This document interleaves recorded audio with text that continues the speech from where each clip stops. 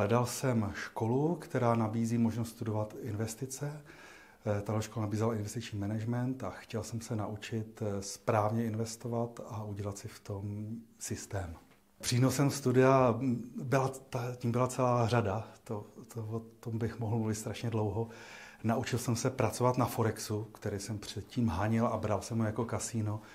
Ale když bych věděl to, co jsem se naučil tady před eh, rokem, tak eh, zůstanu na Akademii věd za nízký plat a jsem šťastný, protože na tom Forexu jsem schopný vydělat za dvě minuty to, co měsíčně na Akademii věd. Navázal jsem spoustu nových kontaktů a zejména z, z toho Forexu měl jsem obrovský štěstí, že škola nabízí eh, jako lektora pana Ondřeje Hartmana, který je špičko ve svém oboru, a díky němu jsem se dostal k dalším kontaktům eh, z českého Forex a i zahraničního Forex biznisu, tak jsem za to strašně vděčný. Lektoři jsou na špičkový úrovni, jsou to opravdu profesionálové.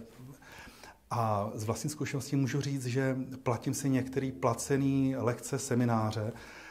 A tady jsem měl možnost de facto v rámci jednoho balíčku eh, komunikovat a učit se od těch nejlepších odborníků, a i ta cena za to studium byla, byla prostě, jestli si můžu dovolit říct to slovo, směšná v porovnání s tím, co jsem obdržel.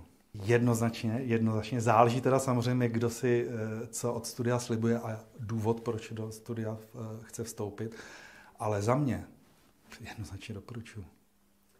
Já jsem trošku narazil na to, že, jsme, že jsem studoval v období covidu, takže některé výuky probíhaly eh, online. Já preferuji přímo tu, tu přímou účast, tu osobní výuku, ale systém výuky tady mi vyhovoval tak, jak byl nastaven. Mohl jsem přednášky navštěvat opakovaně a z toho to, to bylo taky obrovský pozitivum během studia. No, myslím si, že vše vyžaduje svůj čas. Nemyslím si, že studium je náročnější než studium eh, PhD nebo studium, studium eh, magisterský ale musíte samozřejmě splnit nějaké povinnosti a to nějaký čas vyžaduje. Já jsem si teda studium prodloužil, eh, ale nelituju toho. Naopak, i to prodloužení studia mi přineslo další možnost naštěvat ještě víc lekcí a poznat ještě víc lidí, takže zase jenom pozitivum.